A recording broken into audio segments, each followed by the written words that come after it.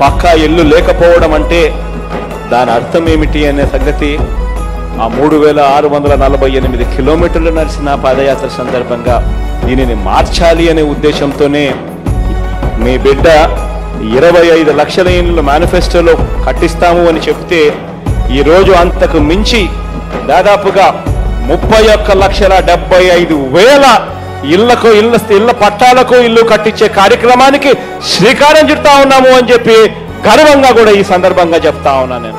ఇది జీవితంలో ఎప్పటికీ మర్చిపోలేను అన్నయ్య. అంతేకాదు మా కుటుంబం మొత్తం జీవితాంతం మిమ్మల్ని గుండెల్లో పెట్టుకొని మీకు గుడి కట్టుకొని పూజ చేసుకుంటా అన్నయ్య.